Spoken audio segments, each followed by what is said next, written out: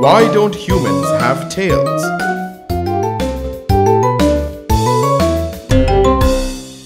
Snake, what happened?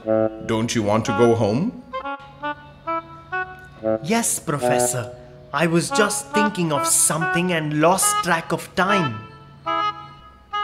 What's the problem, Snake?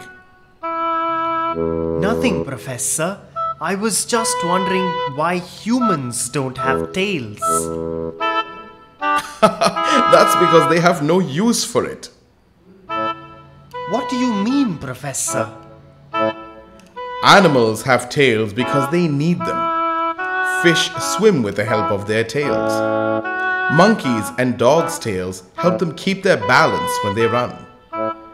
Since people walk, they can balance very well on their two feet.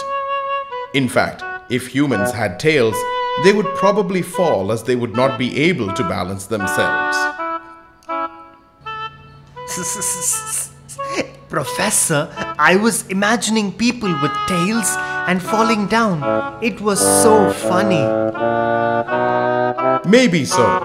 But right now, hurry up, or else you'll miss your bus to go back home. That is so cool. I would just like to go ice skating. Pity there's no pond or river close to where we stay.